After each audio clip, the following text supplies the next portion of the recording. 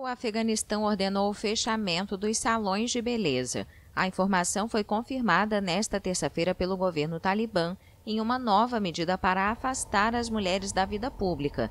As autoridades deram um mês para o fechamento para que as empresas esgotem seus estoques. Os salões de beleza proliferaram em Cabul e nas grandes cidades afegãs durante os 20 anos de ocupação pelas forças dos Estados Unidos e da OTAN. Esses locais eram vistos como um espaço seguro para as mulheres se encontrarem sem a presença de homens e permitiam que muitos afegãos iniciassem seus próprios negócios.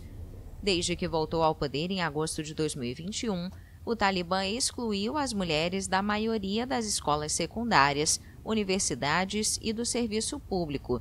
Elas também não podem trabalhar para a ONU e organizações internacionais, acessar parques, jardins, academias ou banheiros públicos ou viajar sem estar acompanhadas de um parente do sexo masculino, além de precisar se cobrir totalmente ao sair de casa.